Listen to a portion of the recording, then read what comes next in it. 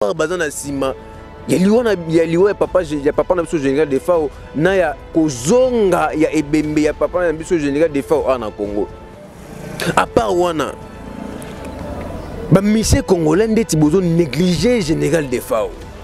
eza négligence ya négligence tomoni fali outi kobeta awa na, na, na, na cameroun fale outi obeta na cameroun na ouverture ya kani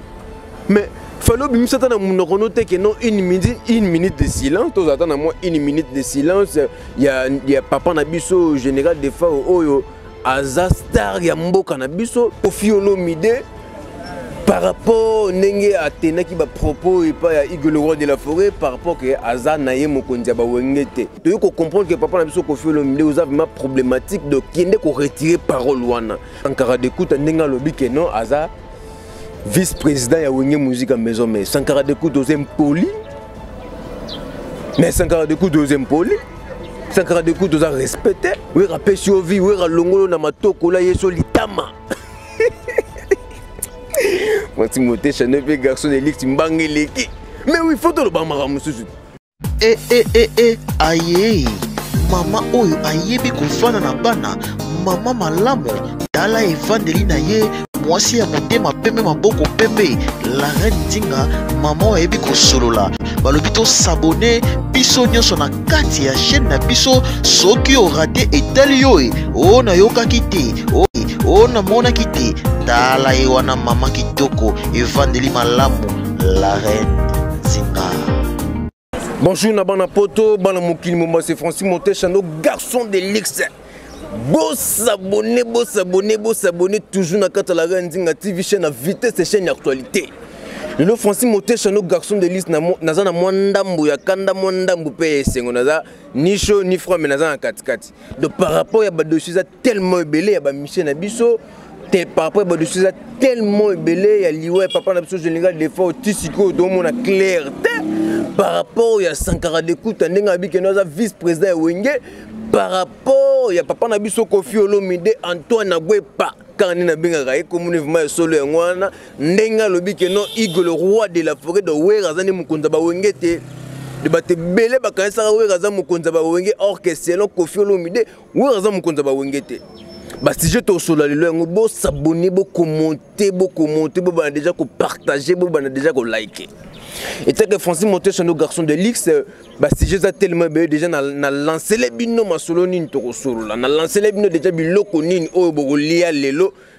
na kati émission na ngai abeta biloko kolenga biloko di avant tobanda kobeta biloko avant tobanda sikoyo émission na biso tika navandisa mama lara nzinga moulin vesedora mwasa makasi mwasa alonga bitumba baya 2000 personnes 3000 personnes mama lara nzinga alonga bango kaka di bakisekale lisusu nani la japonaise 5 fois mama plus koko hey, eh, bazwi wapi di estce baza na mbongo baza na mbongo te baza na eloko te di tika na vandisa movie adosenga maître sengi kingasani toujours moto moko bien adosenga maître sengi kingasani toujours moto moko bien ainsi que mana mimoza na kati ya berlin napesi yo bambote place ozali bokomonte bolaike bopartage napesi lisusu mbote na ngai wana eratarate ym autre madi yolane mombele 4 fois mama donc euh, tali moso kumisi nzambe di YM montre m'a dit Yolal Mombele 4 fois maman tobandi sikoyo biloko na biso awa tozobanda no na première euh, masolo na biso ya Koffi Olomide par rapport ndenge atendaki bapropos epai ya igle roi de la forêt par rapport ke aza na ye mokonzi ya bawenge te etake francis motechano garçon de lix toyesikoki kocomprendre ke moni place oyo tomonaka mpenza ke no kofi aza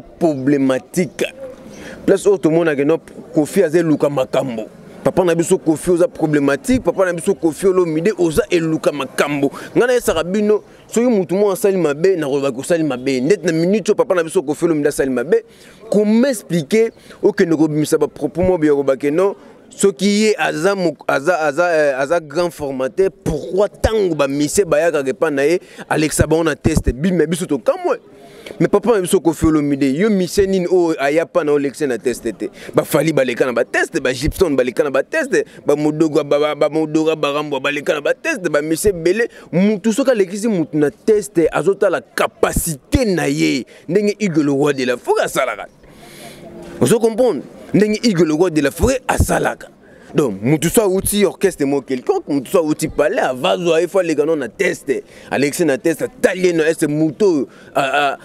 motu oyo akoyemba bien to akoyemba mabe so ayembi mabe akolongola ye so ayembi bien akozwa ye c'est normal mais toyei kocomprendre que papa na biso kofi olomide oza vraiment problématique de kende koretirer parole wana mpo tomona yango na makambo ya mama olive oleka tuka liboso olobi makambo fale mpo oloba après ntango ozongi na pale otali ke no te nalobi mabe après osali nini okei koretire parole est ce que deja omona wera aloba ke non moto wana mibengaka patron moto wana mibengaka bos aza na ye bosi te mais wera oloba yango te wera oloba yango te totika barankine moko oyo eza propre te tala sikoyo bana wenge nde bango mofinga yo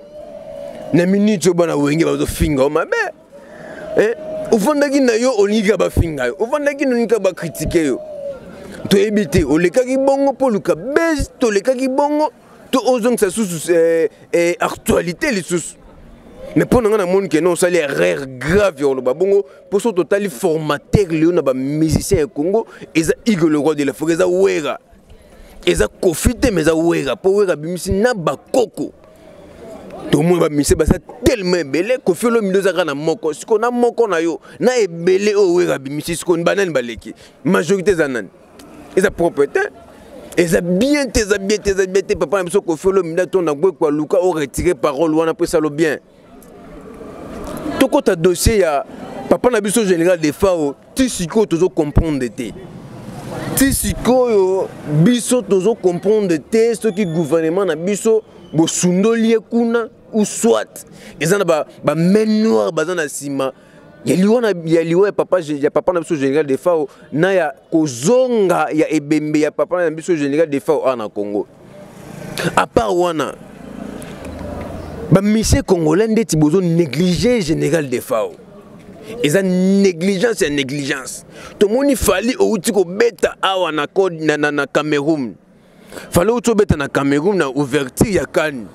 mais fali obimisa ata na monoko no te keno une minute, une minute de silence tozala ata na mwa une minute de silence ya, ya papa na biso général defao oyo oh, aza star ya mboka na biso mpe star ya afrique mpe akufi na cameroun me tomoni fali okeka kosala intere na yo okeka kosala intere na yo oke ozwi mbongo na yo evide donc c'est comme si tozelaki yango congo mobimba bakongole ebele tozelaki osala arti wana engai mpe tombolo lisusu makasi mais pourkui ntango moto akufi do bamisie boza wana ndeti ndeti ndeti moto akufi na ye te boza telema ebele bato bakota susi mpe na makasi eza kaka nani eh, kabose na montana mpe tomoni délégation bato bake kuna eza kaka kabose montana na shaka congo sikoyo bamise mosusu wana boke te pourkoi tomona na liwa papa oyema nde bokendaka ebele botondana na meme na baavion mais pourquoi deux points de mesure c'est ça deux points de mesure yango ya nini bango tout général defao na papa bazaka bato ya bagénération moko bozo néglige motu c'est comme si moto akufi aza na ye taillere Et eh, c'est comme si moto akufi aza na citoyen simple mais non aza citoyen simple mais aza musicien je ne garde fois où il a fait atomboli mpe musique na biso ya congo abakisi un plus tomona baliwa papa na biso bapapwemba babandero na bakisasa mobimba matongi ebwaki kotoyo kotokoto général de fa ndenge ti akufi boye ata bandero moko te misie moko atomboli na bato bamibenga bapatron ya baartiste na bato bamibenga baza baimmeuble na bato bamibenga baza babeta baconcert ya ba 100 dollars tolinga mutu ntango aza deja ya kokufa boye tolinga mutu ntango aza na bomo ntango mpe mutu akufi tolakisa bolingo mpo akozwa su mbongo na biso te akolia su mbongo na biso te misie moko tatomboli banderole eza mpasi eza mpasi meme na famille na ye bazokamwa mais comment expliquer général de fois azalaki na général de fois azalaki moto ya rankine te hein. de fois azalaki moto ya rankine te mais niveau bamusicien congolais bosundoli ebembe na ye bongo ata na baémission te ata nini te ata nini te organisation ti sikoyo ata na bana poto bazali baorganisation te bazoyeba te organisation yango eza ndenge nini eza ndenge nini bazoyeba yango te depo de mesure ya nini mpo kaka bandeki kovanda su na congo te fo toloba yango mpe fo toloba yango mpo kaka bandeki su kovanda na congo te mais aza congolais hmm? aza congolais aza zairois tozonga kuna kala nabenge kuna zairois tomona bamisie mosusu bozobeta baconcert awa na kisasa awa boza ebele bobeta baconcert banani baheritier bakofi ebele ebele ebele bobeta baconcert pas même une minute de silence mpo na papa na biso akufi eza te tolingaka mona vie ya lelo na bomo ya lelo tolinga tolinga motu mo soki moto akufi topesa ata bolingo moko boye te ya mwa ndambo maga omona yango te tohonore na ndenge moko ya kimia mpe ya bien tomonana makambo papa fo tocompare kaka fo tocompare boyo tosani fo tocompare tokɔta non dossier avant na yesu wana tokɔta non dossier ya, ya, ya sankara dekuta ndenge alobi ke non aza vice président ya wenge musika maison mais sankara dekuta oza impoli mais sankara dekuta oza impoli sankara dekuta oza respecte eh? mais, mais comment expliquer okoma ti na niveau au manquer Hugo le roi de la forêt, au manquer bureau ya Hugo le roi de la forêt. Sankara de kuda yo zaka sira moi moi na sira j'adolphe. Mais photo le bango moso mutanga bunga na nzela photo le bango, photo donc son nom na nzela. Tokozonga na le passé, Fabio Zaloba que non, yeba esiki outi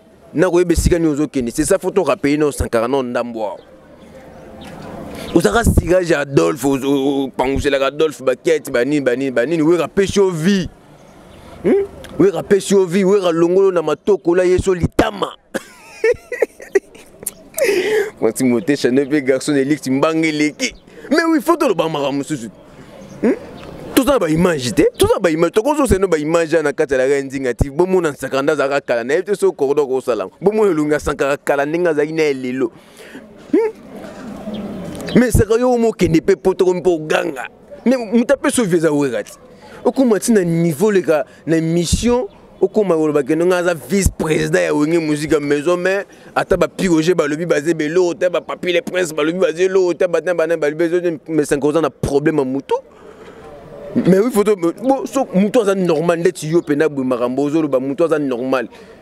akoyeba makambo wana te yango wera ye moko abike nonsaka dekutu oza no moto ya théâtre mais atako comédie yango eleki moi bacomédie mosusu fo te belo oni tonga tosala ye bacomédie mosusu ongo osala eza bien to eza mabe oyo abengani okomi faser nayebi te okomi faser na monde ya miziki hmm? est ce que niveau lokola fali yo omona fali aza zoba ti obaka no fali masta na ngai fali boye fali boye fali boye natanga na ye faci beto kutu abaka no ata za masta na ngai so otanga na ngai na lia na yo so osali mabe bakokanga yo eza nde mona fali te fali aomona deja ke no mutu kutu apesi yo vie mutu amemi yo bapoto mutu amemi yo ti nde okoki osala interview mpo mundele eh, mutu amemi yo na baambassade mutu amemi yo passeport ya sankara eza na combien de visa oyo amema ye hmm? oyo azotika kutu bato misusu bazomema sankara mpe toyei kocomprendre ke okomisa kobimisa okoma kobimisa na wera mabe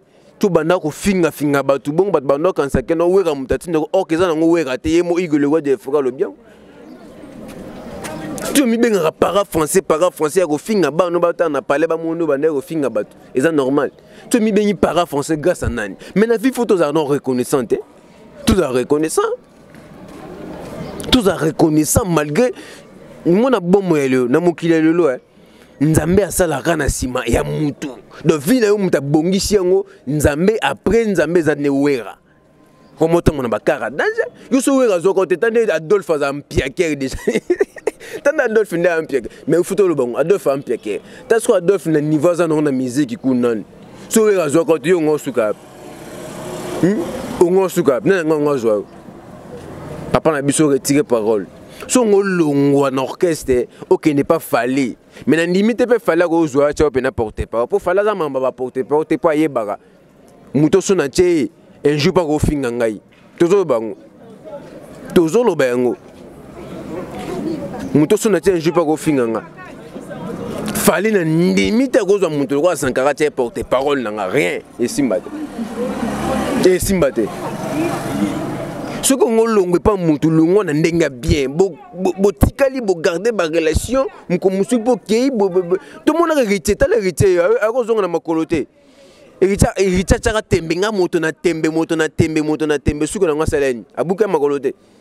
abuki makolo apesi na cd weka fuli yango pwa mirange midemo ekangi te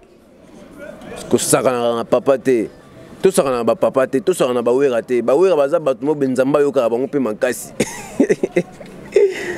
mais oui naza na eloko mobe awa selon peniel na mai kalambai jour émission mosusu nayebisaka bino ke peniel babotoli ye bana tutututututututu esili nayesa bino sikoyo preve oyo papa na biso maikalamba yamemaki place oyo ba mike place oyo ba mike botala te bosote mbala moko osati bokati nzokande paster na biso maikalamba azali na bavideo wana na telefone na ye ti o oh, ti elekaka wana ti peniel asalaka asalaka wana azalaki na bavideo donc pasta mpo banda nde kotala ne prono wana mwasi na ye kala banda ye kosala soko pasta alobi ke non mpo nabotola peniel bana fo nasala nini namema bavideo wana na justice états-unis eh, babi oyebika place esekisanga tonka babengi monsieur mike kalambai à la barre mpo atelemi ake liboso ayebi